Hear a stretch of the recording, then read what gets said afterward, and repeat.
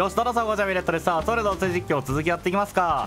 ようやく、まあ、10月中にやらなければいけないこと大体出揃ったかなということで今回は、まあ、10月中にやらなければいけないことをまとめやっていきたいなと思います、まあ、10月といえば皆さんご存知ハロウィンだと思うんですけど実はですね今年から新しいレシピっていうのが登場しました。えこちらですね。えっとねハロウィンなクッキーになるものが今年から登場したんですよね、まあ、これが小麦粉が1個。でオレンジのかぼちゃ黄色いかぼちゃ白いかぼちゃ緑のかぼちゃの計、まあ、5種類が必要なんですけど基本的には住民さんから教えてもらうのがまあ、一番手っ取り早いかなと思います。住民さんから DIY のレシピを教えてもらえる機会というのは1日大体ね確か3回ぐらいあったと思うんですよね。ので10月中にしか入手することができないのでなるべく早めに、まあ、住民さんから教えてもらう必要があるかなと思います。こちらですね、えー、ハロウィンなクッキーなるものがあります。この辺に飾りましょう。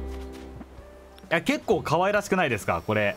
これが実は今年から新しく登場したハロウィンのレシピとなっています。まあ、ハロウィンのイベントをするにあたって下準備ですね。10月1日から10月30日の間たぬき商店で飴を購入する必要があります。こちらですね。俺もまだ全然買ってないんですけどこれ、まあ、買っておきましょう。飴2つでリアクションとかあとハロウィンの衣装とか、まあ、そういうのを入手することもできるし、まあ、皆さんね毎日購入するようにしておいてください。飴は10月いっぱいの期間限定で販売しております。今シーズンのみの人気商品のためご購入は1日につき、えお一人様1個までとさせていただいております。いかがでしょうか？買っておきましょう。プラスここですね、えハロウィンな家具なるものが登場しています。たぬき商店。ただこれ高いんですよね。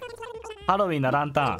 お値段なんと6720ベルっていうことでここで買うよりも、まあ、DIY のレシピをもらって結構簡単に手に入るのでこのハロウィンなランタンとかでここで、まあ、作っていくっていうのが個人的にはいいかなと思います。6720ベルはまあちょっと微妙なラインよな。というわけでですね、え10月の4日今日から何が新しく追加されたのかっていうと行きましょうか。任天堂スイッチオンライン。皆さん忘れちゃダメですよ。10月中にゲットしないといけないものが来てしもうたな。ミッションギフトですね。ミッションギフトでここで、えー、集まれどお釣りが追加されております。アイコンパーツですね。すご。あ、今月でジャック誕生日なんだ。とりあえずモンペだけ交換しとく。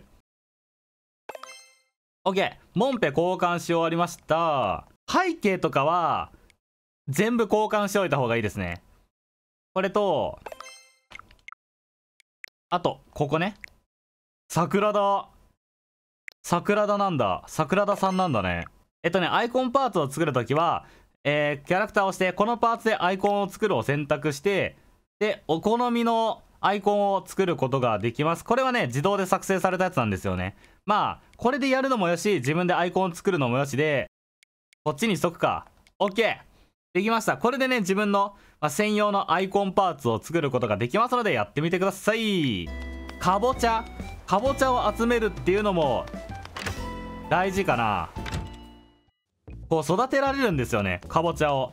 レイジかもしくはたぬき商店でも確か売ってたんじゃない？そうですね。えかぼちゃの苗っていうのがあるのでこのかぼちゃの苗を購入してかぼちゃを育てていくっていうのもまあ毎日やるべきことかなと思います。えオレンジのかぼちゃ黄色いかぼちゃ白いかぼちゃ緑のかぼちゃの4種類あるから毎日ねかぼちゃに水あげて育てていきましょう。っていうのがですねまあ大事な部分かなと思います。待ってちょうどいいタイミングでシャンクがいる。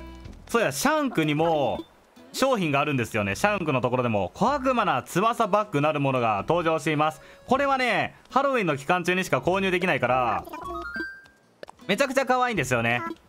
購入するようにしてください。あとエイブルシスターズにもアニマル系と魔法使い系とあと小悪魔な角だったかな。なんかそういうやつもね期間中に登場しますので購入するようにしておいてください。エイブルシスターズはたまにしか出てこないんですよね。シャンクは割と出てくるイメージあるんですけどワークマンの翼バッグめちゃくちゃ可愛らしくないですか？こういうね魔法スクールのロープとかこういうのもハロウィンの期間中にしか確か購入できなかったはず。これね魔法使いのドレス。めっちゃ相性いいんですよ。可愛らしくないですか？購入してあげてください。